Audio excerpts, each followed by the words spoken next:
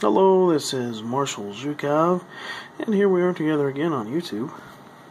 Here before you is the Colt Big Frame Trooper Mark III, and it's not in very bad condition. It's not not that bad for being a 1970 something production pistol.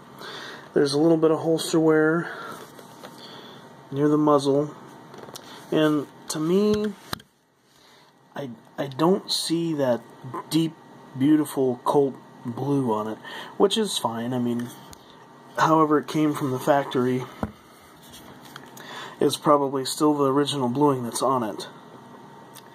It's got some scratches. We can see a lot of scratches. Some more holster wear. And it looks like it sat in a holster for a while and maybe there's a little bit of rust that occurred. We know which is happens over the years sometimes for guns that don't get used, shot.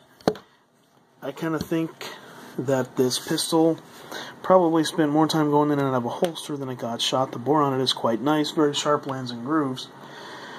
But I'm happy with it. I like it. I like to shoot it. It's comfortable to shoot. The grip on it I know or previous video from some years ago I acquired from Hogue. I was hoping to get some of the rubber grips on it but they never made. And uh, I have not recently followed up on whether or not they may be producing rubber grips for this Colt pistol, but I actually liked how these turned out, how they look, and how it feels. So, my question, I guess, is where would I take it to have it maybe nickel plated? Or would it be worth nickel plating this pistol?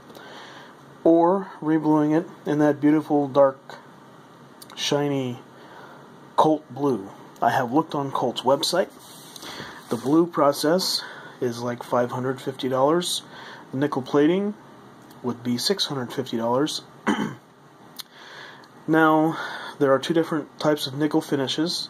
I want the very shiny nickel plating that looks like chrome. Uh, the other matte type finish without the electrolysis or uh, however it's done uh, is not something that I would be interested in. Just the shiny finish.